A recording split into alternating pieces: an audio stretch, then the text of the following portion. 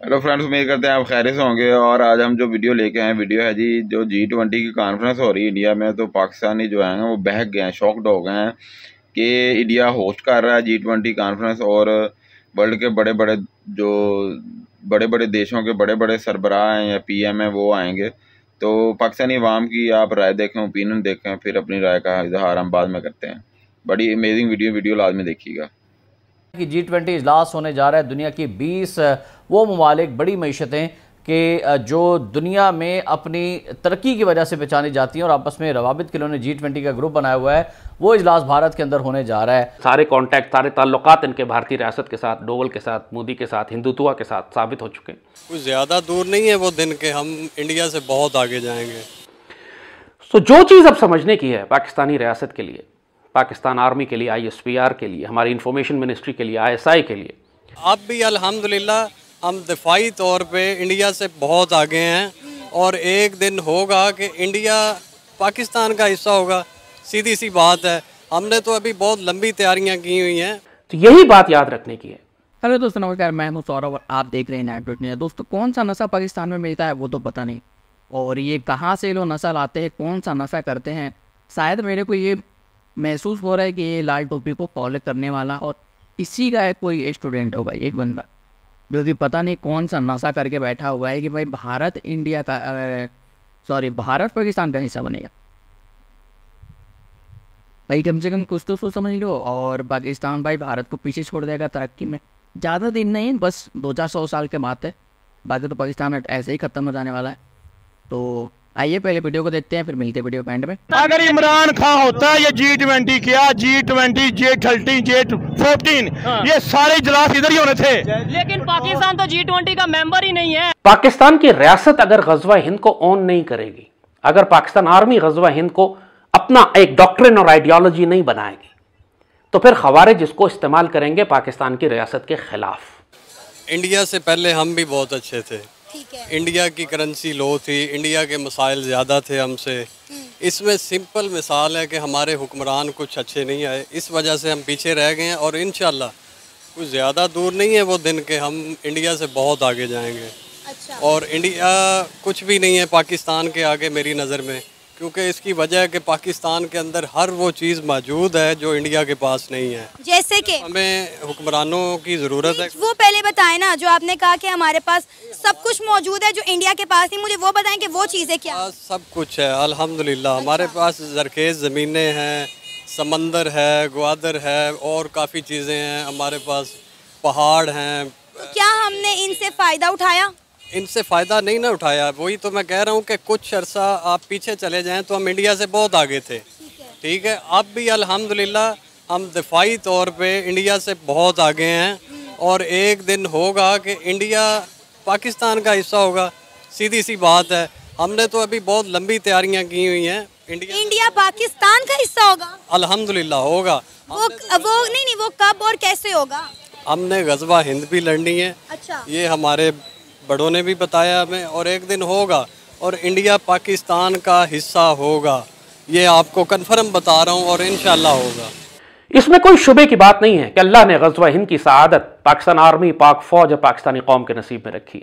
जो नए रिक्रूट्स हैं इस वक्त तमाम एक नई कैंपेन लॉन्च हुई है क्योंकि भारत की जंगी तैयारियाँ इस वक्त जुनून की हद पर पहुँची हुई हैं। भारत ने जल्द या बदेर पाकिस्तान पर एक बहुत भारी जंग मुसलत करनी है। ये तरक्की वाला काम तो बाद में ना? हम तो इंडिया का हिस्सा बनना जा रहे हैं। सर हमारे मुल्क में खाने के लाले पड़े हुए हैं। अवाम पाकिस्तान छोड़ छोड़ के भाग रही है। आप किस माइंड ऑफ़ स्टेट से ये बातें कर रहे हैं? मुझे तो समझ ही नहीं आ रहा। आप सेंसिस में हैं आप जो बातें कर रहे हैं आपको पता आप क्या बातें कर रहे हैं? बिल्कुल सही बात कर रहा हूँ। अल्हम्दुलिल्लाह मैं अपने होशो आवाज़ में हूँ। लग नहीं रहा ना मुझे। दुश्मनों की मक्कारियाँ समझिएगा। दुश्मनों की चलाकियों को समझिएगा। जब तक आप नैरेटिव और बयानिए की जंग में दुश्मन को शिकस्त नहीं देंगे, उस वक्त तक आप मैदान जंग में शिकस्त नहीं दे सकते उसको। और इसमें बरतानवी वजर है ऋषि सोनाक। उन्होंने कहा है कि वो जी ट्वेंटी कॉन्फ्रेंस के लिए दिल्ली के खसूसी दौरे के मुंतजर हैं, जहाँ उन्हें यकीन है कि बतौर वजी अजम पहले दौरे के दौरान उनका इस्तकबाल भारत के दामाद के तौर पर किया जाएगा। ऋषि सुनाक जी ट्वेंटी सरबराज लास्ट में कॉन्फ्रेंस के लिए जब ये व्लॉग आप देख रहे होंगे तो पहुँच चुके होंगे नई दिल्ली। और कोविड नाइन्टीन आलमी वबा के बाद से उनका ये पहला दौरा भारत है। डॉनिंग स्ट्रीट को उम्मीद है कि सुना की हिंदुस्तानी विरासत और उनकी अहलिया जो है, वो अक्षता मूर्ति जो भारत की अमीर तरीन अफराद में से एक की बेटी हैं और इनके आने पर मुकामी लोगों की तरफ़ से बड़ी गर्मजोशी के ज़रिए से उनका इस्तकबाल किया जा रहा है। और ये भी भारत को यकीन है कि चूँकि भारतीय निजात हैं, ये सारे बरतानवी वजी उनकी अहलिया और उनकी पूरी फैमिली आ रही है। तो भारत के साथ तजारती माहे के वाले से बड़ी पेशरफ हो सकती है। देखें इंडिया एक बहुत बड़ी आलमी मंडी है। हाँ जी। इसकी जो बुनियादी वजह है वो एक आलमी मंडी है। उससे पूरी दुनिया की जो इकनॉमिक एक आउटपुट है ना वहाँ पर डंप होता है। हम्म। और इंडिया ने हाल ही में आईटी के हवाले से बहुत काम किया। ठीक है। और फिर वो चंद्रयान ले ले चाँद पे ले गए। बिल्कुल। हालाँकि वो जैसे भी ले गए जिसकी भी टेक्नोलॉजी उन्होंने स्नैच अवे की कहाँ से भी जो भी हुआ मैं आई डोंट वांट टू उसके ऊपर नहीं बात करना चाहता। कर लेते हैं उस पर भी बात। पता तो चले हमें पता चले ऐसे कौन सी हकीकत है जो हमें नहीं पता? रशियन टेक्नोलॉजी ठीक है। रूस पूरी स्पेस में उनकी one of the top technology ever we have heard about that and we learn okay Pakistan की जितनी इंपॉर्टेंट न्यूक्लियर वेपन्स है आपके लिए उतनी इंपॉर्टेंट आपकी आइडियोलॉजी है। और उतनी ही इंपॉर्टेंट ये बात है कि आप खवारिज और दुश्मनों के नज़रिए को तबाह करने के लिए, हिंदुत्व आइडियोलॉजी और खवारिज का आइडियोलॉजी इन दोनों को तबाह करने के लिए जो सईदी रसुल्ला ने आइडियोलॉजी आपको दी है, वो गजवा हिंद की है। इंडियन टेक्नोलॉजी उसी का एक शाखसाना है, तसलसल है। ये रूसी टेक्नोलॉजी है जो उनको सिखाई गई है। सर वो मिलकर काम करते हैं वो हर मजाइल भी मिलके बनाते हैं। मिल के नहीं कर रहे ये for for your kind information आप थोड़ी सी गलत बात कर रही हैं। अच्छा। मैं डिफेंस के बारे में बहुत कुछ जानता हूँ मेरी बड़ी गहरी नज़र में and I am also YouTuber ये बात जो है ना इंडिया कभी भी रूस रशियन फेडरेशन कभी किसी के साथ कोलेबोरेशन नहीं करती डिफेंस इशू के ऊपर और आइदर स्ट्रेटेजिक इशू के ऊपर। ब्राह्मूस मिसाइल का पता होगा आपको? जी पता है। वो वो इंडिया और रशिया ने मिलकर बनाया। टेक्नोलॉजी उन्होंने स्नेच की है और टेक्नोलॉजी उन्होंने चुराई है। ये वही है जैसे एक बच्चा होता है ना इडियट बच्चा जो क्लास में एट दी लास्ट बेंच पे बैठता है अच्छा। और वो सारा दिन कुछ नहीं करता। बट वो ड्राइंग चोरी करता है और ड्राइंग बनाता है। तो सर चोरी किया। काम की चीज़ तो चोरी की ना। हम तो पैसा चोरी करते नहीं थकते। मूस अपने आप चल गया? वो तो उन्हें पता ही नहीं कैसे उसको how to keep the weapons and how to keep there अगर उन्होंने रशिया से टेक्नोलॉजी चोरी भी की है तो काम की चीज़ चोरी की है ना। हम तो पैसे चोरी करने में मशहूर हैं। आ गई ना ना ये भी आप गलत करें अपने मुल्क को अंडर एस्टिमेट मत करें। सर जो सच है देखें अगर आप रशिया और इंडिया के बारे में सच बात कर रहे हैं तो पाकिस्तान के बारे में भी सच बात करें ना। You have a solution you should have to criticize first of all आपके पास सोल्यूशन नहीं तो आप क्रिटिसाइज नहीं कर सकते। पहले आप प्रोसाइसिव कोई अच्छा सा सोल्यूशन दें। कोई प्रोग्राम दें कोई एजेंडा दें देन उसके ऊपर क्रिटिसाइज करें। गवर्नमेंट हमारी गवर्नमेंट मजबूर है। हमारे, हमारी आर्मी मजबूर है। हम लोग सारे जो है ना, हमें ये विरसे में एक ड्योरेंड लाइन मिली है, अफ़गानिस्तान बॉर्डर मिला हुआ है। उन्होंने keep them busy on the western border not keep them on the eastern border इन्हें मसरूफ रखो उधर। दुनिया में इस वक्त जंगें सारी मजहबी बयानी पर हो रही चाहे ये न्यू वर्ल्ड ऑर्डर हो, चाहे इसराइली रियासत हो, चाहे जूश एक एक एक इनका प्रॉमिस लैंड करके ये पूरे मुसलमान दुनिया पर कब्जा, ये सब इनकी मजहबी आइडियोलॉजीज है। पहले आपने इनको बयानिया की जंग में शिकस्त देनी होती।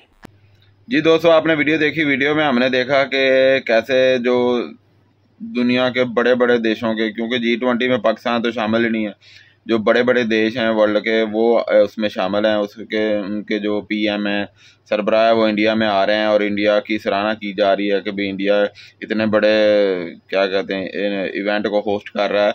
तो ये बड़ी खुशाइन बात है इंडिया के लिए और पाकिस्तानी अवाम की आपने बातें सुनी कि वो पाकिस्तानी अवाम कई लोग हैं जिनके पास जितना नॉलेज है वो उस हिसाब से बात कर रहे हैं। लेकिन हकीकत ये है कि ये मानना पड़ेगा कि इंडिया अब वर्ल्ड की समझो कि चौथी बड़ी इस टाइम पावर है। बहुत बड़ी पावर है इंडिया इस टाइम बहुत बड़ी पावर है। इसको मानना पड़ेगा और पाकिस्तानियों को इसको दिल से मानना पड़ेगा कि इंडिया हमारे से तो साठ सत्तर साल कन्फर्म आगे निकल चुका है। तो क्योंकि पाकिस्तान जिस स्टेज पे आज इंडिया उस स्टेज पे शायद साठ, सत्तर साल बाद पहुँचे। लेकिन यह है कि इंडिया बहुत कमाल का तरक्की कर रहा है जी ट्वेंटी कॉन्फ्रेंस को होस्ट कर रहा है और बहुत बड़े जो इवेंट है, उनको होस्ट करता है। जैसे वर्ल्ड के वर्ल्ड कप हो गया क्रिकेट का वर्ल्ड कप हो गया और बहुत बड़ी बड़ी कॉन्फ्रेंसेस जो इंडिया में होस्ट की जाती हैं। तो जिसकी वजह से इंडिया की पूरे वर्ल्ड में सराहना की जाती है कि इंडिया इतना अच्छा काम कर रहा है। तो मैं जो पाकिस्तानी जो वाम है जिन लोगों को इस बात की समझ नहीं है कि कैसे बात करनी है या उनको इस चीज़ का पता ही नहीं है कि भाई इंडिया कितनी बड़ी पावर बन चुका है।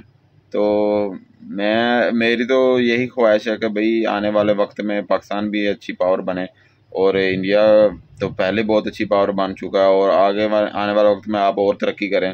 आपकी इसके बा, इस बारे में क्या ओपिनियन है कि आप इस इस बारे में क्या कहते हैं? तो मिलते हैं अगली वीडियो में। अपना ख्याल रखिएगा और अपनी राय का इजहार कमेंट में ज़रूर कीजिएगा। मिलते हैं। अल्लाह हाफिज़।